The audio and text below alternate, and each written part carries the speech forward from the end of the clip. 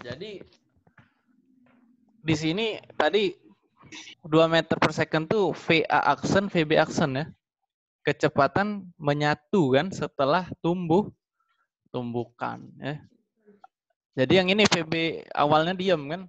Nah, jadi kita sudah kita substitusiin apa yang ada dulu. Kalau masa A-nya 20, kecepatan awal A-nya yang mau dicari kan, yang ditanya soal ya. Nah, Iya. masa B ini 5 kilo, VB-nya itu kecepatan awal B Nol. diam. Diam tadi jadinya Nol. 0, ya 0 meter per second. Masa A-nya 20 juga. Nah, VA aksen, VB aksen ini sama. Sama-sama 2 meter per, se per second. Jadi substitusi 2 ya. 2 ka- habis itu masa B-nya 5, VB aksennya ini 2 juga kan? Sama dia, menyatu. Nah, itu ya. Jadi yang awalnya kurang lebih ilustrasinya gini. Nah, awalnya ini A terpisah kan sebelum tumbukan kan. Jadi setelah bergerak dia tuh nempel. Nah, gitu. Kalau namanya menyatu tuh. Ya. Kalau nempel inilah 2 meter semua jadi kan 20 kali 2 40. 5 kali 2 10 kan. 10. 40 tambah 10 50. Nah, MB kali VB tadi 5 kali 0 ya 0 ya. Iya. Nah, ini 20 VA. 20 VA. Nah, tambah 20 VA. Jadi ini VA-nya 50 bagi 20. 5 per 2. 5 per ya 2 kan? ya? 5 per Nah, 2. atau dua setengah gitu. Jadi Oke. Momentumnya di jumlah ya. Ada yang kira ini? Iya. Paham lah ya. Ani paham ya nih, weh? Udah, Paham paham. Paham ya. Nah, Udah. oke, benar ya. Nah, Anda berhak. Anda benar. Jadi oke. 12 lanjut ya. Nah, benda bermassa M mula-mula diam katanya tuh. Kalau mula-mula diam ya kecepatan awalnya nol lah kan. Nah, kecepatan awal nol. Nah, ini di atas bidang lengkung licin. Waktu bersamaan kedua benda meluncur. Ini ja- terjadi tumbukan lenting sempurna. Kalau lenting sempurna nih maksudnya E-nya itu satu kan, koefisien restitu, koefisien restitusi. Jadi maksudnya gimana tuh restitusi itu? Jadi kalau dia misalnya awalnya terpisah kan, sebelum tumbukan kan, jadi waktu dia udah nempel nih, tumbukan kan, nempel kan. Nah abis dia nempel tuh mantul lagi ke atas, gitu. Terpisah lagi. Awalnya terpisah, tumbukan terpisah lagi. Beda kayak nomor 11 tadi. Kalau nomor 11 itu dia tumbukan katanya tuh kan. Setelah tumbukan menyatu. Nah, jadi kayak gambar kakak sebelumnya tadi.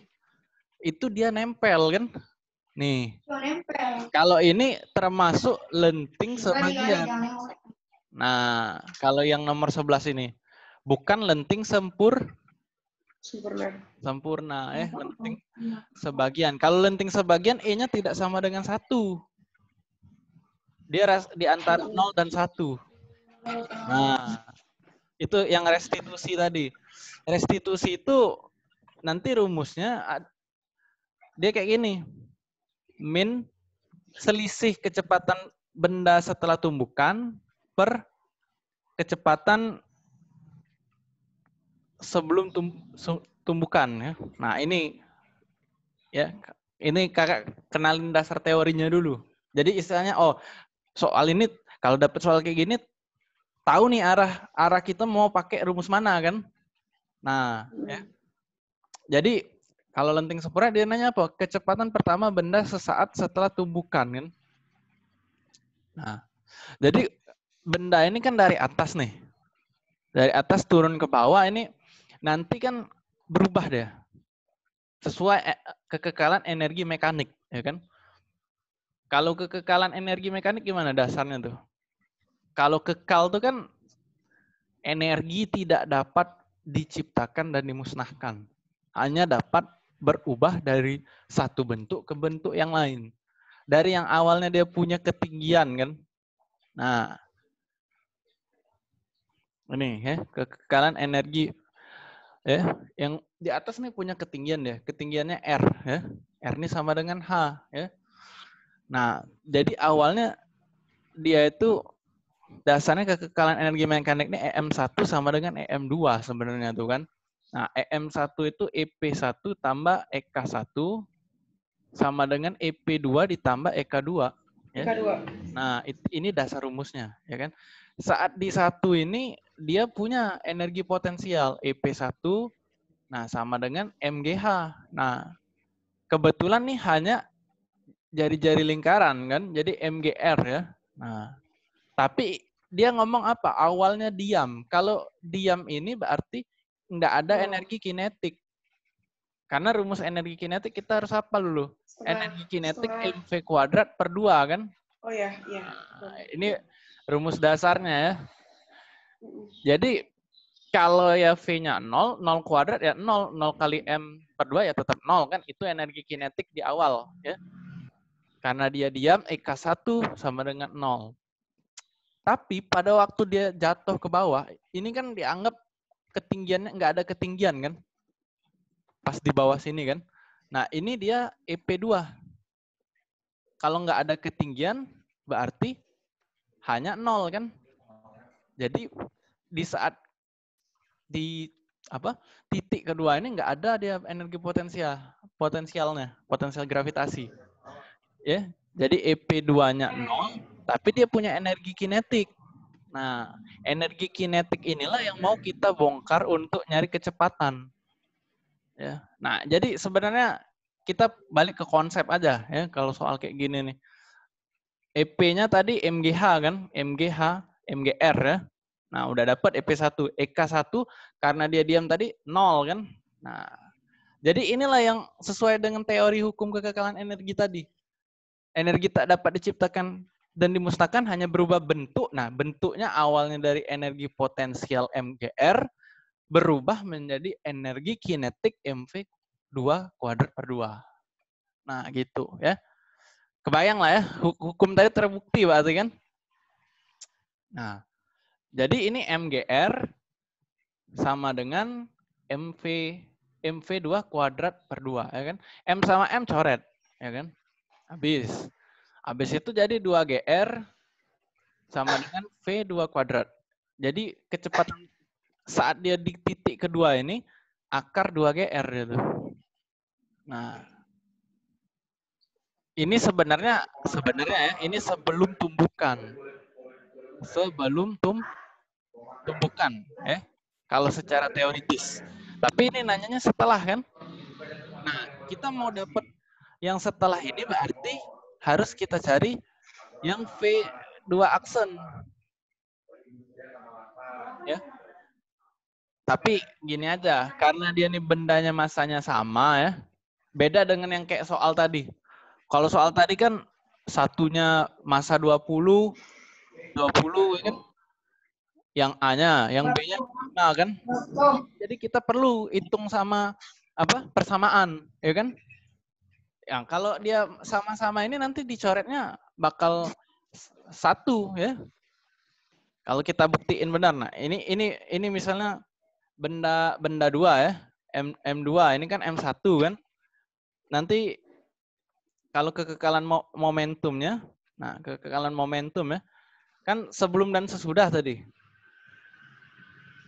Momentum sebelum sama dengan momentum sesudah tumbukan ya kan. Nah, momentum satu, momentum dua. Nah, momentum dua aksen P, P1 aksen kan.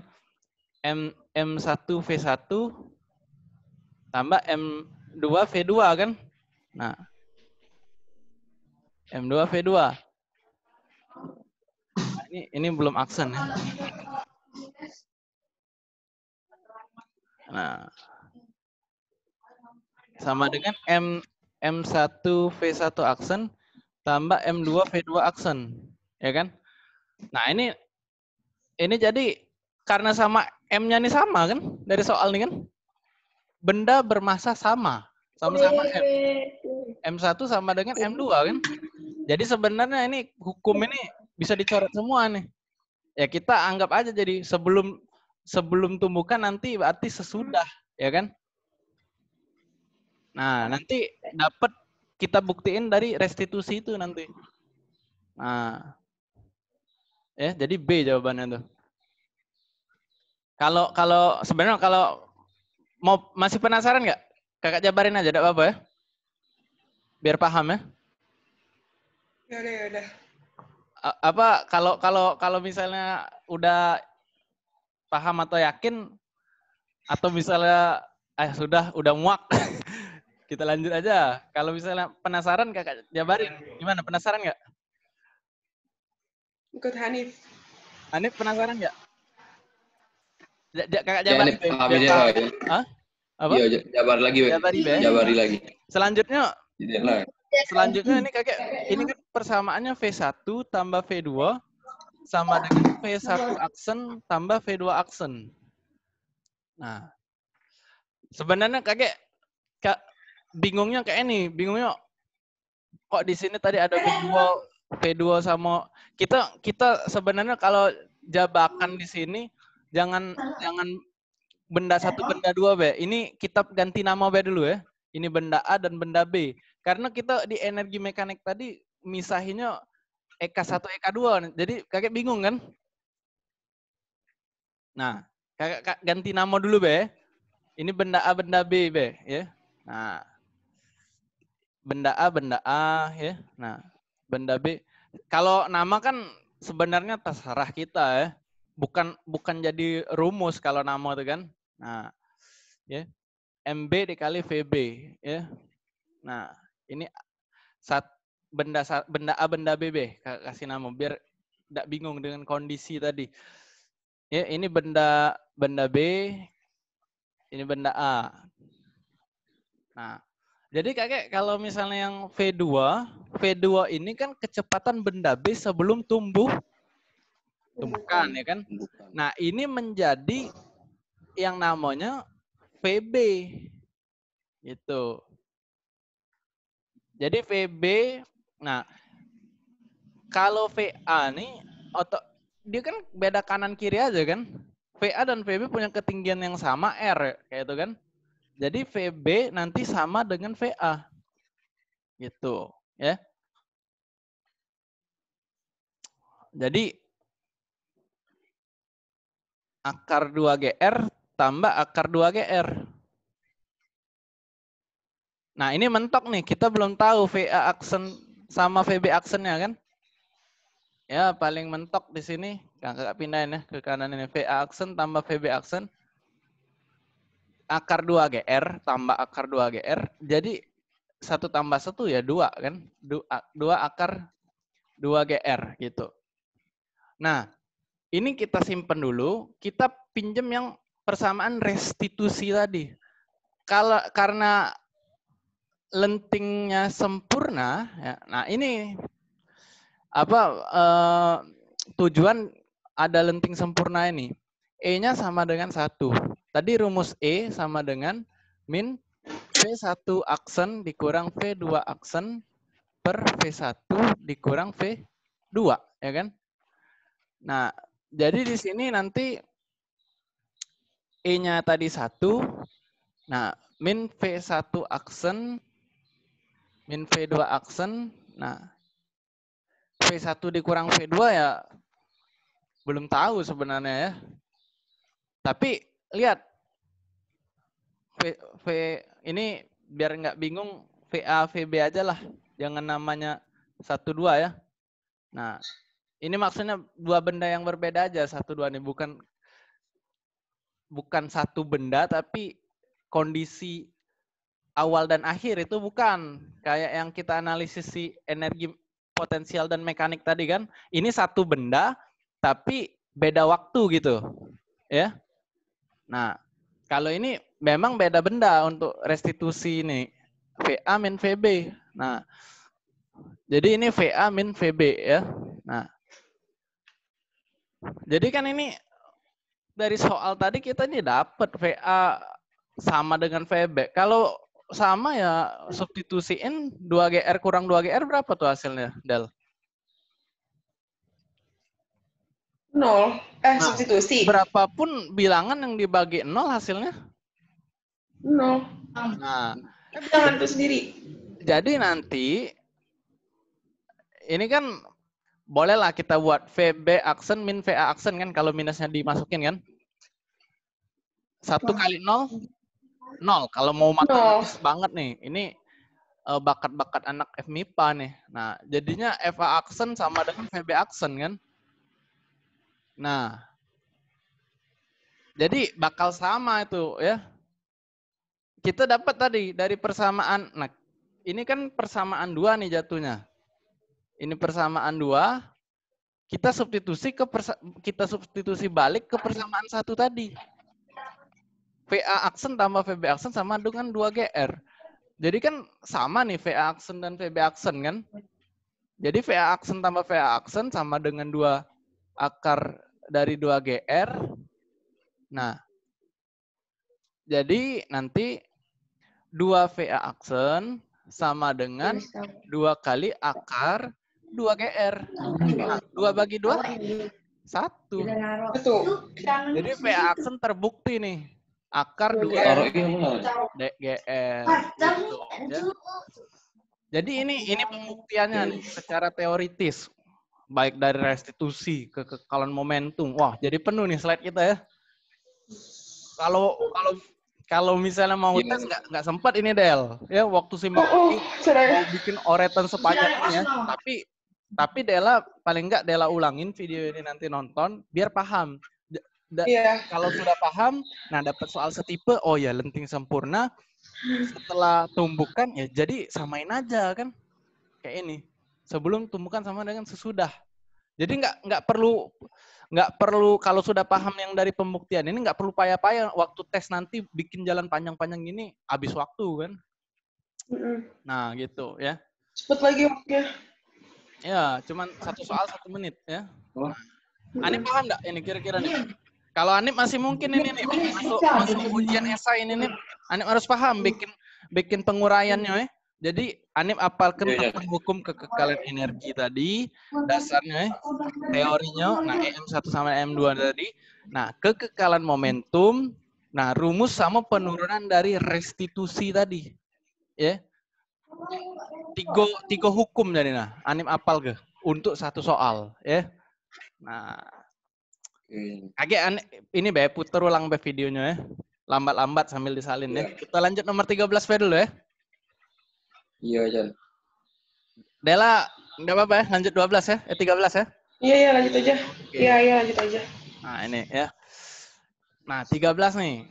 Bola bola bermasa 100 gram.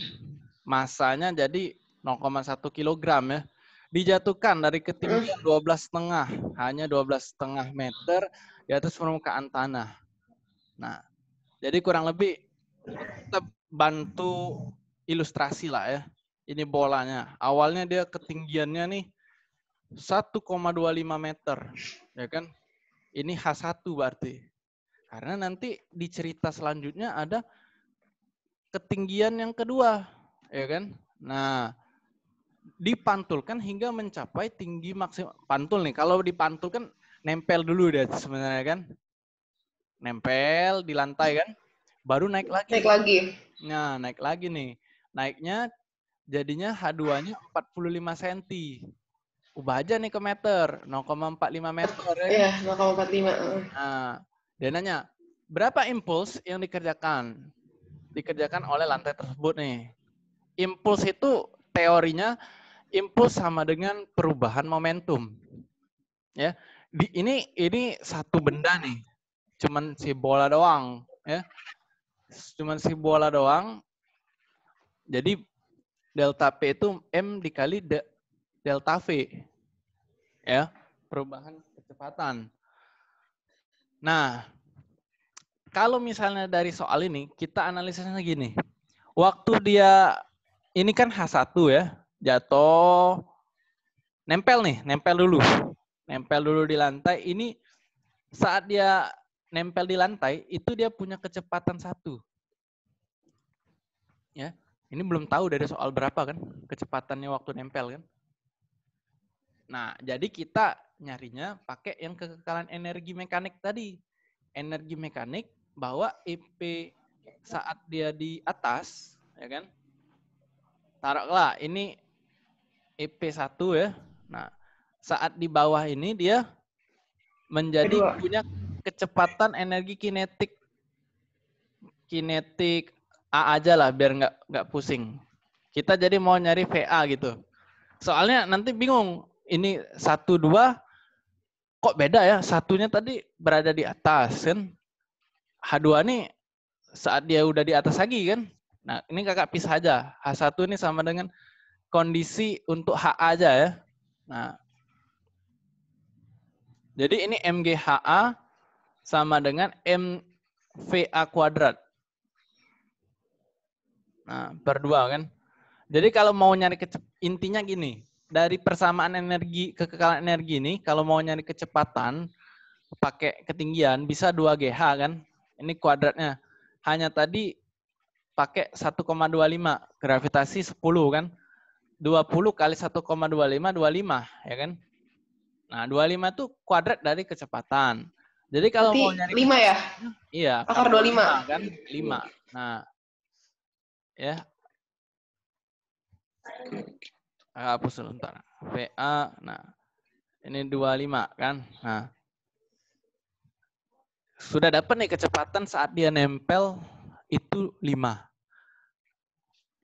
Jadi kita mau cari ini kecepatan kecepatan sebelum tumbukan ya. Sebelum tumbukan dengan lantai kan. Nah, setelah bola numbuk lantai, dia mantul lagi ke atas. Nah, itu yang mau kita cari kecepatan setelah tumbukannya ini. Ya. Yang belum ada. Karena ngapa? Nanti kalau udah dapat VA aksen itu masanya tadi kan memang udah dapat nih 0,1. Nah, perubahan kecepatan itu berarti VA aksen dikurang VA yang sebelum tumbukan gitu. Memang kan sudah ada nih yang kecepatan sebelum tumbukan tadi kita dapatnya 5 kan. Nah, tapi mentok ya. VA aksennya belum dapat ya kan Del? Nah, untuk mencari VA aksen kita ingat tadi en, kekekalan energi. Waktu dia jat, eh, sebelum jatuh punya energi potensial ke bawah berubah jadi energi kine kinetik Kinetik. kan. Nah, energi kinetik di bawah di, dia karena mantul berubah jadi energi potensial waktu di atas ya. Jadi kita mau nyarinya gini. Energi kinetik saat dia mantul. Nah, setelah tumbukan setelah tumbukan berubah menjadi energi potensial di titik kedua.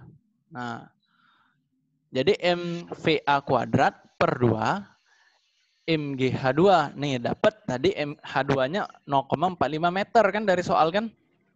Nah, masa Ya. sama masa coret. Ini VA Ya. aksen ya. VA aksen ini tadi 5 kan? 5 Ya. kuadrat per 2, G-nya 10 dikali H2. Ka- Mm-mm. Nah, jadi ini 25 25 per 2. ya per 2 kali 10 ya kan? Atau Iya. 20. Nah, ini jadinya bagi 5 per 5 nih. 5 per 4 kan? 5 per 4. Nah. Eh, 2, H2. eh 0,25. Eh, berapa sih 5 bagi 4? Tunggu, tunggu, tunggu, tunggu. Sorry, sorry, sorry. 0, Kok, kok make VA aksen ya? Entar, entar. Kita kita salah substitusi nih. Kita kita dapatnya ini kan H2 kan? Iya. Nah, VA aksennya anggap aja nih nanti ke dia eh, VA aksen ini nah VA aksen kuadrat per 2 G-nya tadi 10 kan? H2 nih 0,45 ya kan? 0, Nah, 10 kali 0,45 empat setengah kan? Empat setengah kali 2 Iya. 9 ya. Jadi kalau 9 itu di akar dari 3 Tiga. 3. ya. Nah, tapi ingat ingat arah ya. Arahnya. arah berlawanan ini. Berlawanan sebelum tumbukan ya kan? Ya karena kalau sebelum tumbukan kita ingat benda tuh jatuh sesuai gravitasi dari atas ke bawah ya kan? Jadi arah geraknya ke bawah atau sumbu ne negatif. ya? Negatif. Negatif. Setelah dia numbuk mantul, dia ke atas. Nah, jadinya itu posi positif. Positif.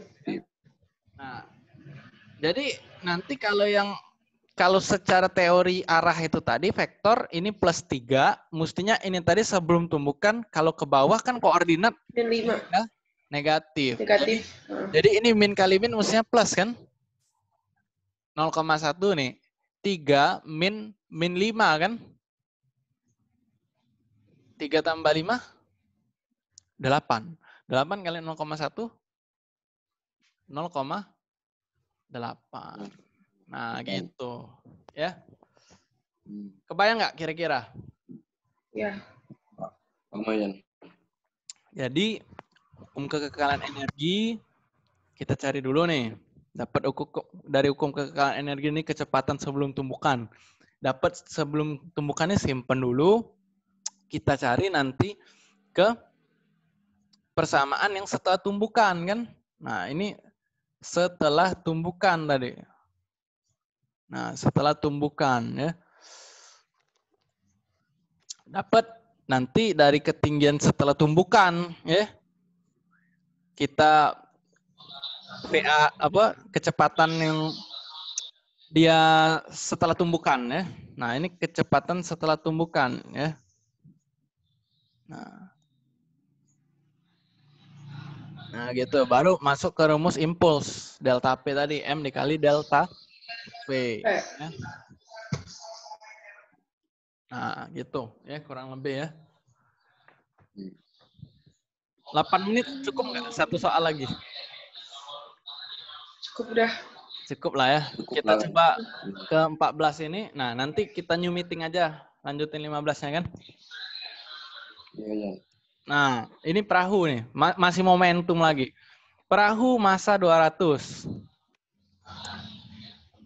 MP lah anggap aja perahu kan. Nah, sedang bergerak pelan menuju ke tepian danau. Kelajuannya nanti VP ya, kecepatan perahu. Seorang nelayan MN aja. Nah, nelayan 80 kan. Ketika melompat ke depan searah, ini keyword ya.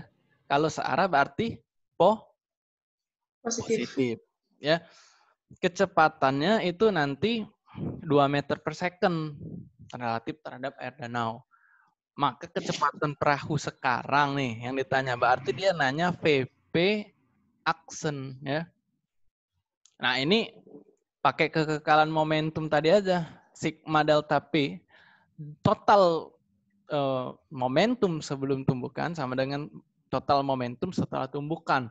Sebelum tumbukan tadi ada momen momentumnya si perahu dan momentumnya si nelayan ya. Nah, sama ya kan? Setelah tumbukan juga gitu. Pra- perahunya nggak nggak eh, jebol kan? Jadi dua tetap satu kan? Nelayannya juga tetap satu nggak ini kan apa istilahnya mati kan lepas buntung tangannya gitu nah jadi ini MN dikali VN tambah MP dikali VP ya. Nah, ini sama ya. Beda V-nya doang, masanya nggak berubah ya. Nah, VP aksen. Nah, tadi masa untuk nelayan itu beratnya 80. VN-nya sebelum tumbukan itu searah tadi positif jadi kan positif 2 ya masa perahu itu 200. Nah, kecepatan perahu sebelum tumbukan tadi 5 ya kan?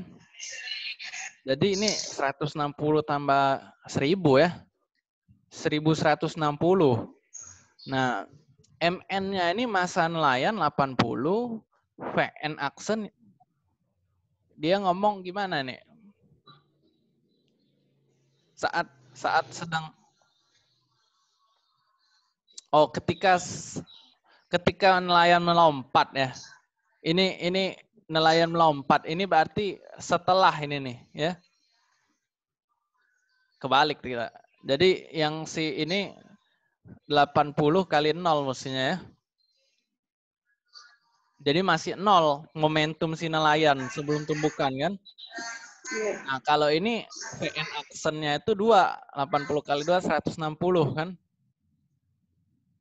Nah, MP kali VP aksen masa perahu tadi 200. VP dikali VP aksen ya kan. Tambah 200 VP aksen. Nah, jadi kita kurangin 1000 kurang 160 nih. Berapa nih? 840. 840. 840 sama dengan 200 VP aksen. Jadi VP aksen itu Berarti VP actionnya 840 bagi 840 bagi 200 200. 4,2 ya kan? Ya pembulatan pembulatan aja lah. Sekitar 4,5. setengah ya. Nah, mungkin ini 6,2-nya tipe nih. Salah ketik ya. Nah, Hmm. gitu ya. Jadi hukum kekal momentum. Eh, lebih simpel lah 14-nya dibanding 13 tadi ya.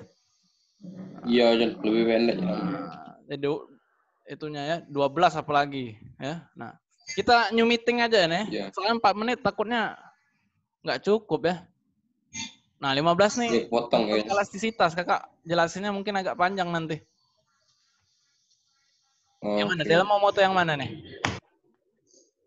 Yang 14. 14 ya. Gak apa-apa nih. Pakai yang nah ini aja lebih jelas ya. Nih. Ya, tunggu aja di WA ya. Saya kakak new meeting kena aja dulu ya. 3 menit tanggung. Iya, iya. Oke. Oke.